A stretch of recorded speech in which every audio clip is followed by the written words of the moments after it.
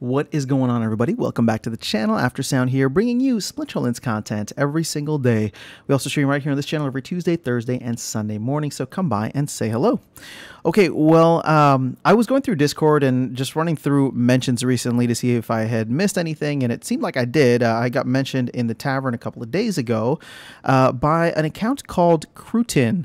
Now, I, I, started reading what they had tagged me about, or, why they had tagged me, and what the conversation was about, and uh, it did spark it did spark uh, an interesting thought. But before we even get into that, um, the conversation is essentially, and I'll, I'll, just break it down simply here. But if you remember, I believe Cruton was the same person back in like November saying that like miners were essentially going to like a like one of the biggest miners in the game was going to quit, right? Like, and they were just going to be completely done with the game. I don't think that happened. We have seen the numbers go up. So take this all with a grain of salt. Cruton, I'm not trying to throw shade at you or anything. I'm just, I, I, just don't know where you're getting your information from. And if you ever want to come on the channel and share that information with us, and uh, you know, um, let me know. Would be happy to uh, to further chat. But I'm just going based off of what I've been reading on Discord. But essentially, they're saying that February 14th, mining operations may fall off a cliff uh, because of essentially soulbound reward cards, right? So they're only chasing the SPS that's locked up for four weeks, and the Chaos Legion packs that they're going to get in those um, in those uh, in those reward chests. So again, is this going to happen? This Valentine's Day massacre? I, I, don't know. That's not the point of my video, actually. But the broader point uh, still stands of what they're what they're talking about here, and and that is how how is the rental market specifically going to change if many of these bot uh, operators go offline, right? Um, I don't I don't know if that's the case. Again, I don't we're just this is all hearsay and rumor right now, but we do know that there is a significant bot presence in the game and uh, if there is just this last ditch effort to milk the system for as much as you can until the Soulbound reward cards come out, or even just a couple of weeks after the Soulbound reward cards come out, uh, just to, you know, finish uh, unstaking your SPS, to finish unstaking your, or, you know, get as many uh, chaos packs, whatever the case is, if that ends because the soulbound reward cards don't have, you know, current value, uh, but, you know, it'll have to be some kind of delayed gratification for the bots, then I do wonder how that will potentially impact the overall. I do I, I do wonder how that'll impact the overall rental market because I mean, bots are renting a ton of cards right now, especially lower level cards too. Uh, I'm sure some of the higher level ones as well. But, you know, most of the accounts that are playing in bronze and silver will probably not have as much of an incentive anymore. So, again, I'm not saying that this is going to happen, but it is an interesting thought exercise because, um, again, I, I don't invest in cards or I don't like to invest in cards as like these long-term investments for the passive income, right? Uh, mainly, mainly because of several reasons. One, there's market fluctuations, the broader market fluctuations, and then the, the market fluctuations within the game.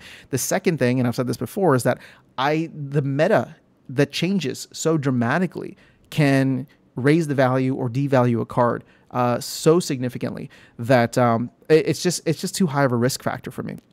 And now this third thing here, which I hadn't really talked about before, but has always kind of been there if uh, if the team or community ever decides to move against the bots in a in a very forceful way, um, and and some even might consider the soulbound reward cards as a move against the bots if they decide to stop renting and all of a sudden we see the player base have or you know go down by two thirds where we see really just the hardcore players people who want to be here for the next couple of years or and longer um, that again, we don't know what that looks like, but it does seem like if it were to happen, it would be a cliff, right? All of a sudden, we would just the rental market would collapse, the the bots, you know, would stop running. It might take a little bit longer to get games and all that stuff. And I'm not saying that that's necessarily good or bad. I'm not saying that I want it.